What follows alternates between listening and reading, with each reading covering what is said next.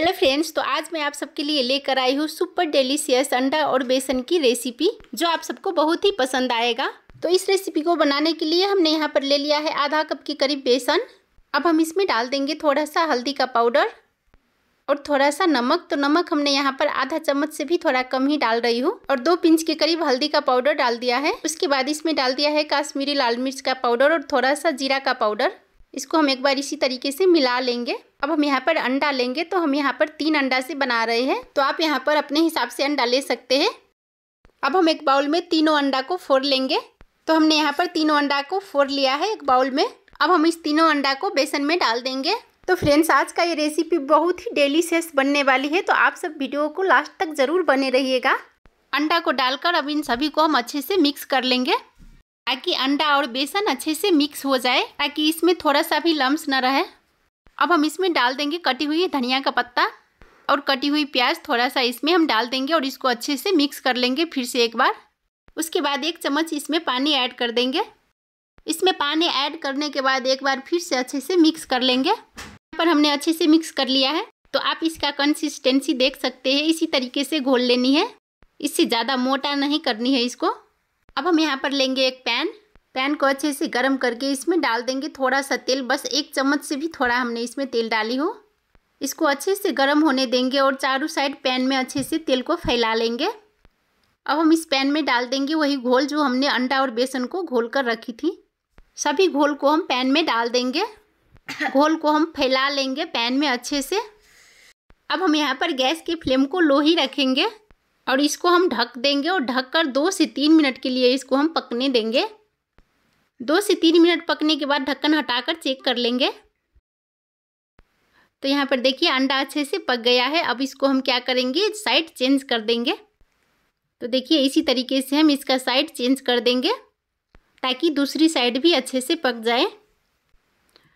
तो यहाँ पर देखिए, हमने पलट दिया है। अब हम फिर से इसको ढक देंगे और ढकने के बाद दो से तीन मिनट के लिए फिर से लो फ्लेम में पका लेंगे।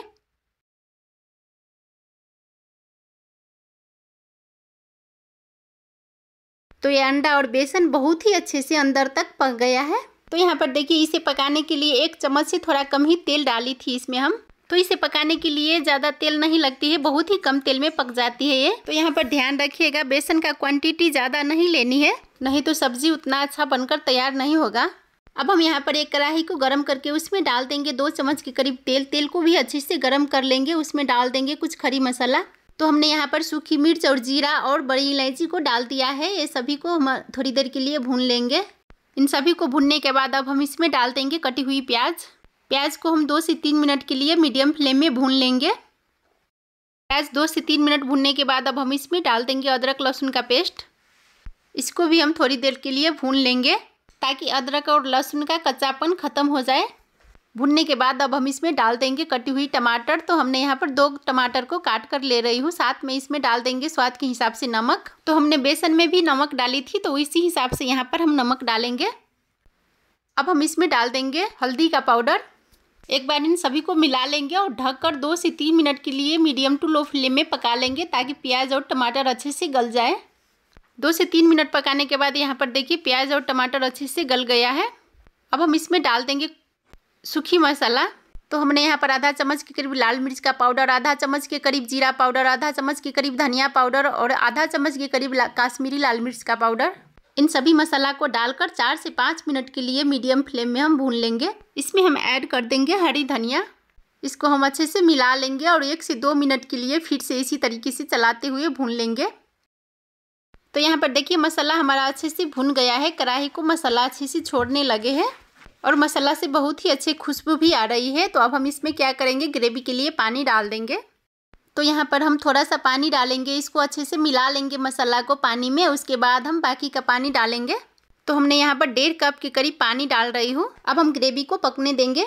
तो इधर ऑमलेट भी ठंडी हो गई है, अब हम इसको एक प्लेट में ट्रांसफ़र कर लेंगे। अब हम इसको काट लेंगे। तो यहाँ पर आप इस ऑमलेट को अपने मनपसंद शेप में लंबा चौड़ा करके काट सकते हैं। तो हम इसे यहाँ पर काजू कतली के शेप में काट रही हूँ।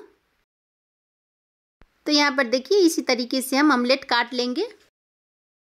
तो यहाँ पर देखिए ऑमलेट को हमने काट लिया है। तो ये बहुत ही अच्छा से पक गया है। अंदर तक बहुत ही अच्छा से पका है ये। आप चाहे तो इसको ऐसे भी खा सकते हैं। ये ऐसे भी बहुत ही टेस्टी लगती है खाने में। ये देखिए, अंदर तक अच्छे से पक गया है। तो आपको यहाँ पर तोड़ कर भी दिखा रही हूँ। देखिए कितना अच्छा से अंदर तक पक गए हैं। और इधर ग्रेवी भी अच्छे से पक गए हैं। तो ग्रेवी को एक बार इसी तरीके से चला लेंगे। अब हम सभी ऑमलेट के पीसेस को इसमें डाल देंगे। और इसको एक बार हल्की हाथों से चला लेंगे। अब हम इसको ढक देंगे और दो मिनट के लिए मीडियम फ्लेम में पका लेंगे। दो मिनट पकाने के बाद ढक्कन हटाकर चेक कर लेंगे। तो यहाँ पर देखिए, अंडा और बेसन का सब्ज़ी बहुत ही अच्छे से पक गए हैं और ये ऑमलेट का पीसेस जो है वो भी अच्छे से फूल गए हैं। अब हम यहाँ पर आधा चम्मच के करीब गरम मसाला इसमें डाल देंगे। अब हम इसको बिना ढके आधा मिनट के लिए पका लेंगे। आधा मिनट पकाने के बाद अब हम गैस की फ्लेम को ऑफ़ कर देंगे। उसके बाद इसमें डाल देंगे कटी हुई धनिया का पत्ता। उसके बाद इसे हम सर्व कर लेंगे। तो ये हमारा बहुत ही टेस्टी और चटपटा अंडा की सब्ज़ी बनकर तैयार हो गया है। तो फ्रेंड्स, आप सब भी एक बार ज़रूर इस रेसिपी को ट्राई कीजिएगा। ये बहुत ही टेस्टी लगती है खाने में। आप इसे राइस के साथ खाइए, रोटी के साथ खाइए, बहुत ही टेस्टी लगती है खाने में। तो उम्मीद करती हूँ आज का ये रेसिपी आप सबको अच्छी लगी होगी। अच्छी लगी तो वीडियो को लाइक और ज़्यादा से ज़्यादा शेयर कर दीजिएगा और चैनल को सब्सक्राइब ज़रूर कर दीजिएगा। तो मिलते हैं नेक्स्ट रेसिपी के साथ। तब तक के लिए बाय टेक केयर